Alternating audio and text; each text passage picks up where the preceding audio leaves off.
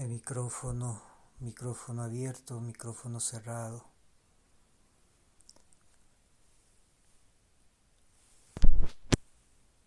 Este es el programa El Espiral.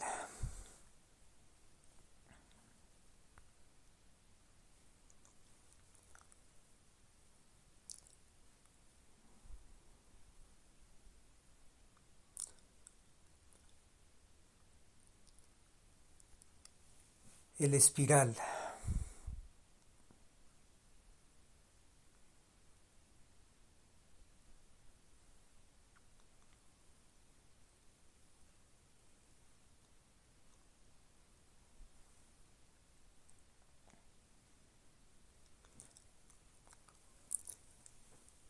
El Espiral es un programa de podcast que trabaja para el blog de la comunidad. El blog de la comunidad es un tanque de pensamiento sudamericano.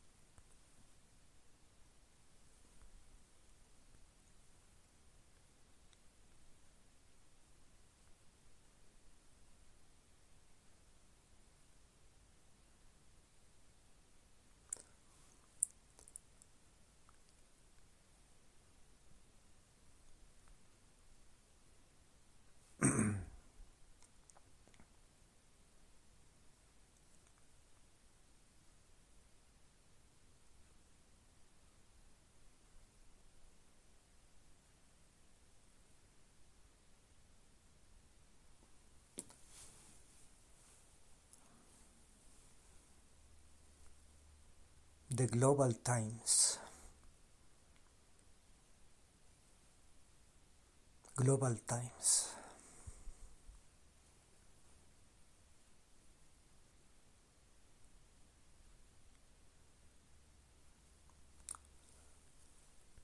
Well, welcome our program Global Times.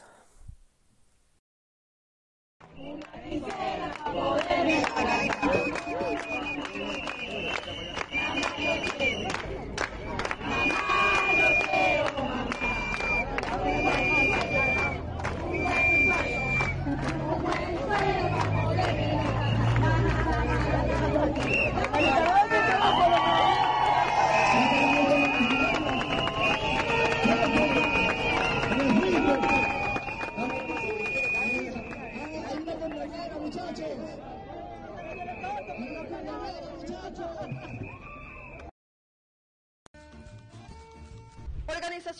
indígenas estarían pensando en un nuevo paro nacional. Tras el paro de junio de 2022, el gobierno y el movimiento indígena firmaron un acuerdo de paz en donde establecieron varios acuerdos a través de mesas de diálogo. Sin embargo, estas organizaciones reclaman que no se han cumplido con todas. El presidente de la CONAIE, Leonidas Isa, advirtió al primer mandatario con que no los provoquen y que tomarían represalias con salir a las calles. Acompáñame a leer los comentarios. Un usuario en las redes sociales menciona lo siguiente. Aurelio Torres. Este, en vez de dar una solución positiva, se ha dedicado a desestabilizar y poner en peligro a nuestro país. ¿Qué ganamos? Por otro lado, Galo Roda. ¿Hasta cuándo? Y por último, debe estar preso por causar caos y desmanes. Hasta aquí con la comidilla del día. Bon appetit.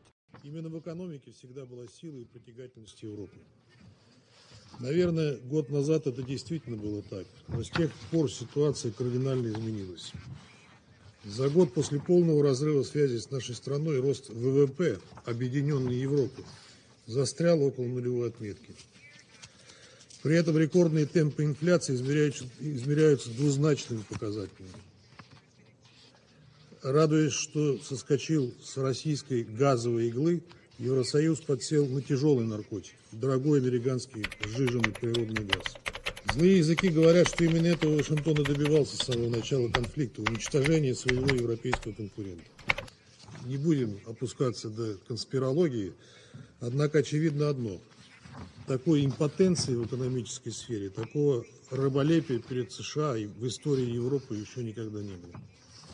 Дело дошло до того, что в Брюсселе беззвучно проглотили подрыв своим ближайшим союзникам магистрального газопровода, оплаченного в том числе европейскими инвесторами, и сейчас пытаются заместить, замести все неудобные факты под ковер, дабы не вызвать недовольство Вашингтона. О какой самостоятельной роли ЕС и Европы в целом можно говорить в таких обстоятельствах?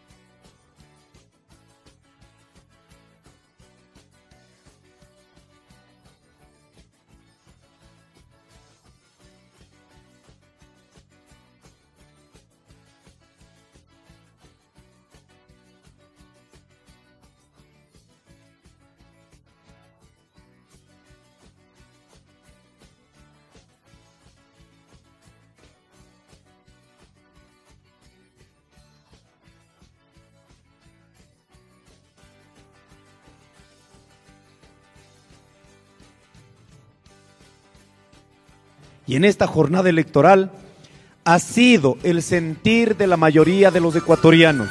Esta consulta que la, que la ha triunfado el pueblo no tiene propietarios. No hay propietarios políticos, actores políticos ni organizaciones, sino el propietario de esta lucha es la mayoría del pueblo ecuatoriano. Por ello queremos decir con absoluta humildad que este triunfo es gracias a la lucha de la mayoría de los ecuatorianos. La lucha en las calles refrendada en este momento, evidenciada en la consulta popular. Por ello queremos decir, cuando nos han denigrado, nos han insultado, nos han dicho vandálicos que hemos actuado bajo pago del narcotráfico, aquí está. El 70%, el 55%, en algunas provincias 60%. Esa es la gente que salió a luchar y eso significa que en este sistema democrático las movilizaciones lo hacemos apegados a la constitución de la República y no es un grupo de delincuentes saliendo a las calles. Y rechazamos la actitud, la vocería de muchos partidos políticos que han denigrado la lucha en las calles del movimiento indígena y los sectores populares. En ese no, en esas ocho preguntas que dijo no, también incluye nuestros territorios que están tremendamente afectados agredidos por la gran minería. Y no solo por el gobierno de Lazo, el gobierno de Moreno, los anteriores gobiernos, los que han instalado la minería a gran escala como política de Estado desde 1994. A eso también se dijo no en esta consulta popular. También se dijo no al gobierno nacional, a su equipo, a su modelo, que aquí no pasará más las privatizaciones de los sectores estratégicos de todos los ecuatorianos.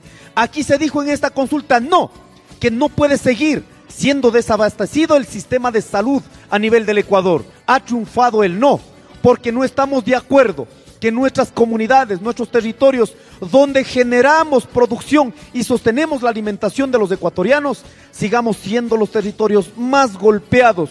Esta consulta lo ha dicho no a toda esta política neoliberal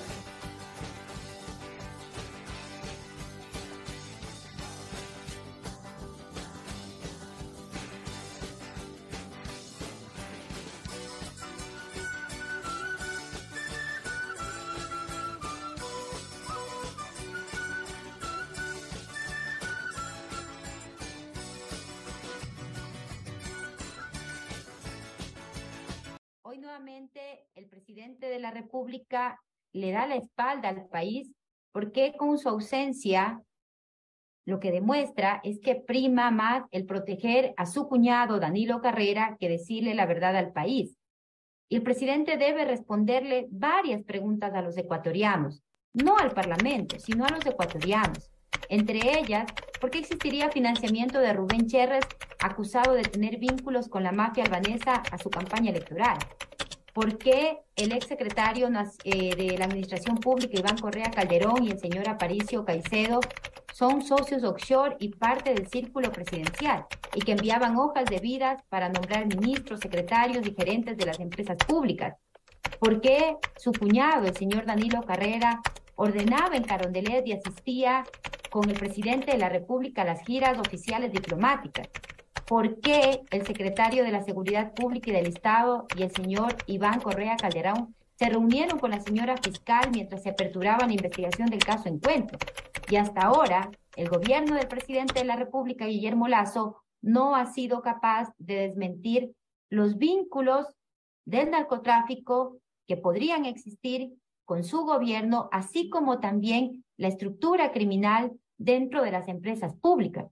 Y tampoco se ha pronunciado el gobierno del presidente de la República, Guillermo Lazo, por la amenaza a la vida y a la integridad del agente de policía, el teniente coronel José Luis Erazo, testigo clave en la investigación de su cuñado y del señor Rubén Cherres Fayoni. Estas son las respuestas que están esperando los ecuatorianos, que el gobierno pueda decir la verdad. Y aprovecho también este espacio para exhortar públicamente al ministro del Interior y también al comandante de policía Fausto Salina que autoricen la comparecencia del teniente coronel José Luis Erazo. Nos insultaron. Se oponen a la consulta son los narcodelincuentes. Nos chantajearon.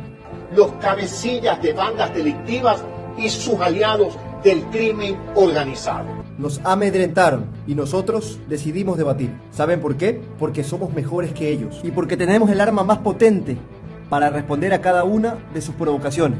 La verdad, nada más que la verdad. Mi nombre es Augusto Verduga y el próximo 9 de enero acudiré al llamado de Fabricio Vela para debatir con la asesora jurídica de la presidencia, Karen Sichel, sobre la mal llamada consulta ciudadana. Demostraré con argumentos que la iniciativa de Lazo es una trampa. Es una trampa, es una trampa. Que la única opción es decirle no, ocho veces no, al mitómano de Carondelet. No iré solo, nunca he estado solo acudiré con el respaldo de la gente decente, la mayoría. Al debate vamos todos.